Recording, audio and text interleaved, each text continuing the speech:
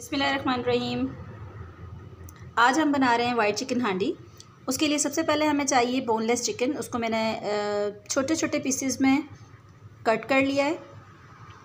और इसकी क्वांटिटी है तकरीबन ये आधा किलो से ज़्यादा है और तीन पाव से थोड़ा सा कम होगा। उसके बाद मैंने ली है प्याज। ये प्याज ली है मैंने एक से डेढ़ मीडियम साइज़ इसको भी रफली कट कर लिया है। उसके बाद इसमें जो चाहिए वो है दही। मैंने इसमें फ़्रेश योगर्ट लिया है, जो घर में जमाया था। उसके बाद इसमें लिया है डेढ़ से दो टेबल स्पून लहसुन एंड अदरक का पेस्ट ये भी फ्रेश है। उसके बाद हम मसालों की तरफ़ आ जाते हैं। मसालों में हमने लिए हैं ये ज़ीरा, एक से डेढ़ चम्मच। उसके बाद काली मिर्चें हैं थोड़ी सी। ये तकरीबन दस से बारह काली मिर्चें हैं। उसके बाद ये एक से, एक टीस्पून जो है वो मैंने क्रश्ड रेड चिलीज़ ली हैं, कुटी हुई मिर्चें। एक टेबल स्पून मैंने नमक लिया, अगर आप लोग कम खाते हैं तो कम ले लें। मैं क्योंकि थोड़ा सा तेज़ खाती हूँ और हमारी फैमिली में तो मैंने इसलिए थोड़ा सा ज़्यादा लिया है इसे। आठ से, छः से आठ जो है वो काजू लिए हैं। वो देख लीजिएगा, इसे कम या ज़्यादा कर सकते हैं। चार से पाँच मैंने बादाम लिए हैं, इसे भी कम से कम या ज़्यादा कर सकते हैं अपने टेस्ट के मुताबिक। चार से पाँच मैंने लौंगे लिए लौंगे लौंग जो है वो आपकी मर्ज़ी पर डिपेंड करता है कि आप डालना चाहें तो भी, ना डालना चाहें तो भी ना डालें। ये सिर्फ़ फ्लेवर के लिए लिए खुशबू के लिए। छः से सात जो है वो मैंने हरी मिर्चें ली हैं और उसको मैंने इस तरह कट कर लिया ना भी कट करें तो कोई नहीं मसला, क्योंकि हमने तो इसको ग्राइंड ही करना है। ठीक है? उसके बाद हम, मैंने लिया है टमाटर। टमाटर टोटली ऑप्शनल हैं। कुछ लोग नहीं डालते वाइट हांडी में, मैं लेकिन डालती हूँ। उसके बाद मैंने एक पैक लिया है मिल्क पैक का मिल्क पैक क्रीम का। ठीक है? अब हम इसकी तैयारी करते हैं और मिलते हैं थोड़ी देर बाद। उसके बाद एक कढ़ाई में हमने प्याज लिए। सबसे पहले प्याज डालिए।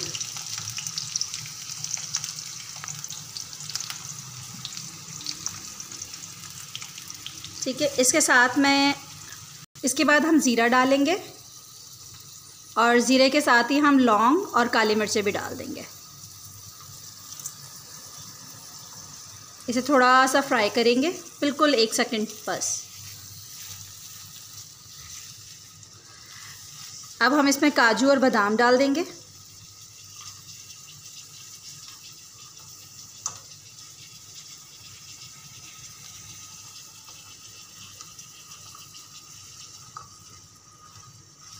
और इसे इतना फ्राई करेंगे कि ये सोते हो जाए और प्याज थोड़ी सी नरम हो जाए।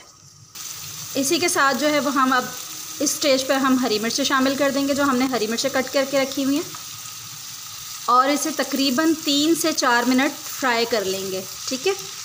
मैं इसे फ्राई करके फिर आपसे मिलती हूँ। अब ये देखें, ये तकरीबन तीन से चार मिनट हमें हो गए हैं और ये इस तरह प्याज सॉफ्ट हो गई है। और हरी मिर्चों ने भी हल्का हल्का सा कलर चेंज कर लिया है।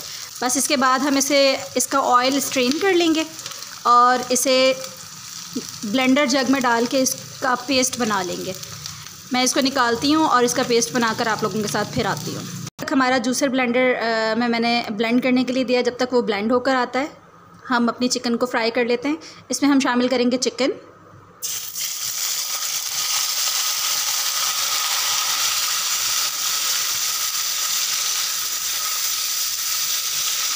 चिकन को थोड़ा सा मिक्स करेंगे ताकि ये नीचे लगे ना। हमने इसमें और कोई ऑयल एक्सेस ऑयल कोई नहीं डाला है, ठीक है? ये मैंने चिकन को ऑयल के साथ मिक्स कर लिया। हल्का हल्का सा कलर चेंज हो रहा है। इसी के साथ हम नमक शामिल कर देंगे। हमने सिर्फ़ इसमें नमक डाला है अभी। और क्योंकि मेरे पास लहसुन अदरक का पेस्ट बना हुआ था तो मैं लहसुन अदरक का पेस्ट चिकन में ही डाल के इसके साथ ही फ्राई करूँगी। लेकिन अगर आपके पास जब भी आप कभी हांडी बनाने बनाने की तैयारी करें तो उसके साथ लाजमी कोशिश करें कि साबुत, लहसुन और अदरक जो है वो प्याज के साथ ही हल्का हल्का फ्राई करके एक साथ ब्लाइंड करें। मैं लहसुन अदरक का पेस्ट स्टेज पे शामिल कर रही हूँ और उसके साथ चिकन को भूनूँगी। मेक श्योर sure कि आपकी प्यालियाँ, आपकी हर चीज़ जो है अच्छे से साफ़ और रिस्क को ज़ाया नहीं करना है। ये देखें, ये मैंने इसको अच्छे से भून लिया है और मैं इसको फ्राई कर रही हूँ। इतना कि इसका जो पानी है, लहसुन अदरक का जो पानी है, वो अच्छे से ड्राई हो जाए और इसी में हमारा चिकन पक भी जाए।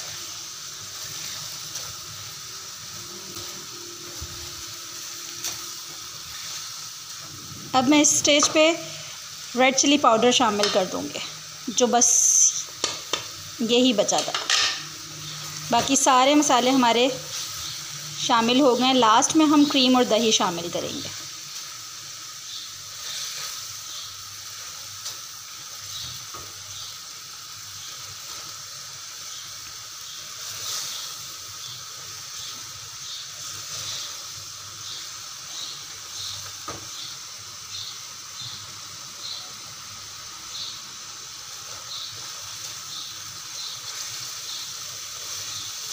रेड चिली पाउडर भी आपके, आपका ऑप्शनल है। कुछ लोग जो हैं वो इसमें ब्लैक चिलीज़ भी डालते हैं ब्लैक पेपर्स जो हैं वो उसको क्रश करके और वो डालते हैं। वो भी ठीक है। बट मैंने आज इसमें रेड चिली पाउडर डाला है। क्रश चिली डाली है। पाउडर नहीं है। पाउडर से बहुत ज़्यादा रेड हो जाता है। ये देखें, ये बहुत अच्छे से भुन गया है। ठीक है। इसका ऑयल अलग हो गया है। ये देखें, ये ऑयल अलग हो गया है और मसाला बहुत अच्छे से भुन गया है। लहसुन, अदरक, नमक, मिर्चें इसमें बहुत अच्छे से मिक्स हो गई हैं और ये बहुत अच्छे से भुन गया। अब इस स्टेज पे मैं, इसमें हाफ़ ग्लास पानी डाल के इसे थोड़ा सा और मज़ीद गलाऊँगी।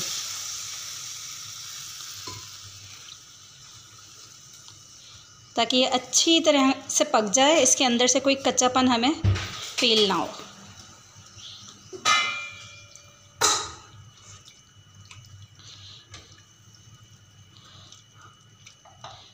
चलें, इसको मैं अब ढक के पका लेती हूँ अच्छे से। जब तक ये गल जाता है, हम इसे ढक के दम देते हैं और जब तक हम आप बाकी का मसाला पीस के लेकर आते हैं। अब जो मैंने पानी इसमें डाला था, वो तकरीबन पाँच मिनट हो गए हैं हमें रखे हुए और गोश्त भी अच्छे से गल गया है और पानी भी खुश्क हो गया है। अब इस स्टेज पर मैं शामिल करूँगी वो सारा मसाला जो हमने पीसने के लिए दिया था, जो हमने फ्राई किया था और पीसा था और इसी में मैंने टमाटर भी शामिल कर लिए।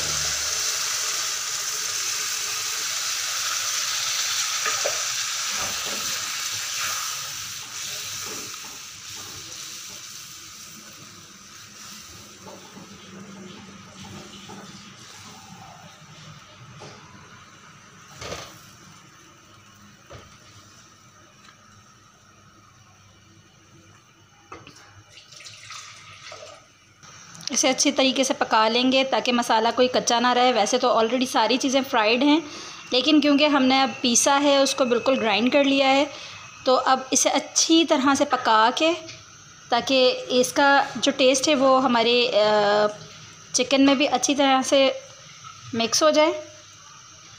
और ये जो लिक्विड है, ये जो, ये नज़र आ रहा है आपको, ये भी पक जाएगा। और जब ये पक जाएगा तो ये जो ऊपर से इसके झाग आ रहे हैं, ये ख़त्म हो जाएँगे सारे। फिर हम जब भूनते वक्त इसमें दही और क्रीम शामिल करेंगे, फिर दम दग देंगे। मैं मिलती हूँ आपसे थोड़ी देर के बाद जब तक इसका पानी खुश कर लेते हैं। ये देखें, ये बिल्कुल ऑलमोस्ट जो है वो ये भुन गया है। इसमें मैं अब दही शामिल करूँगी।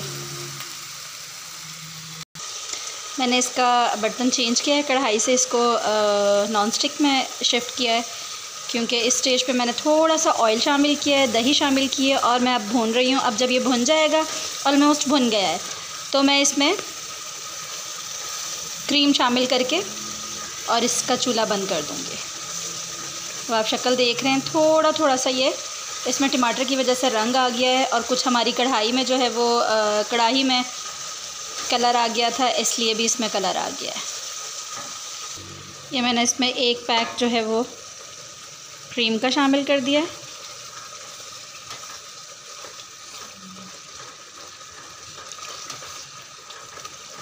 और ये इसका टेक्सचर चेंज होना शुरू हो गया है।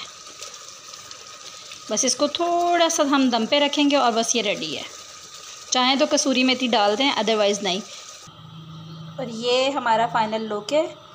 ये मैंने डिश आउट कर दिया है इसको। अगर आप चाहें तो इस पर हरा धनिया डाल के गार्निश कर लें, अदरक डाल के गार्निश कर लें अदरवाइज़ ऐसे भी ठीक है।